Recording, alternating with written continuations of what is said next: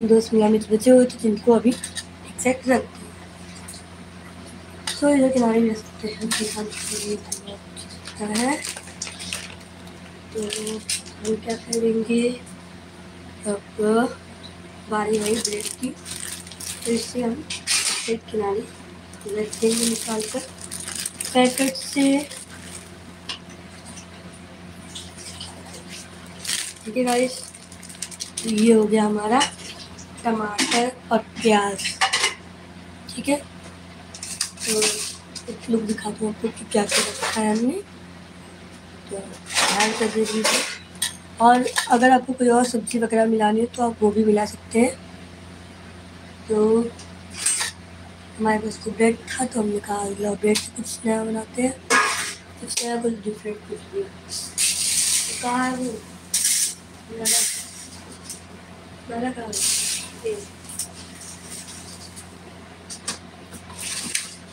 तो गाइस इसको हम एक करके हम अब चढ़ाई, कढ़ाई और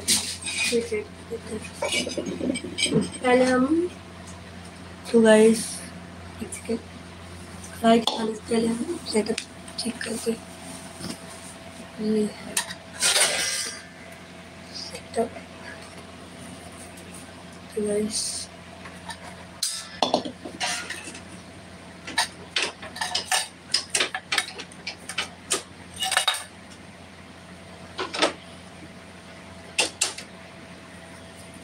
भी आप देख सकते हैं।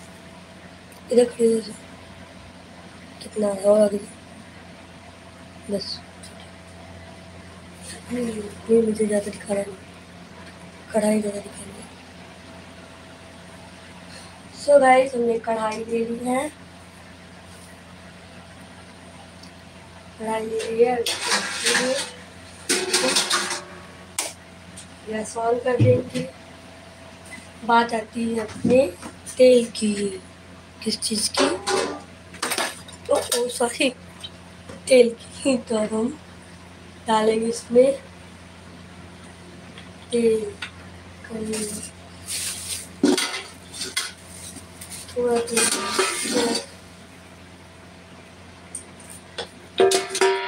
हमने क्या लिया है? तेल, ठीक है? तो हमने मसाला डाल दिया मसाला।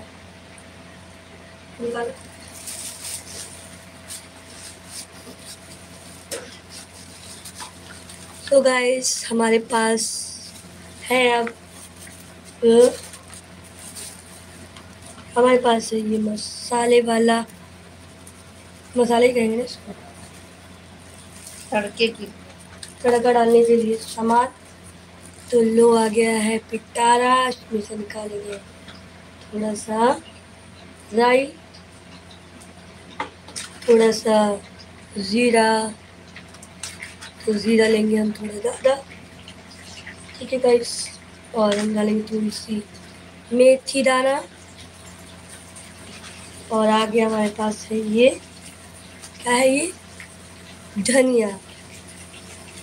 डालेंगे धनिया। और बहुत कुछ देखो तो काली मिर्च डालना तो वो भी हम डालेंगे। ठीक है गाइस डालने के बंद करते हैं और रखते हैं। गाड़ी आती है इसमें लहसुन कहाँ। है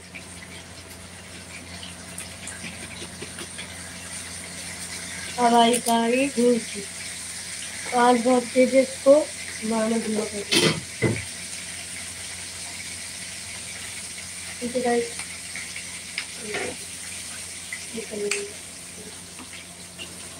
आप जल्दी कर लेंगे जब तक लहसुन नहीं है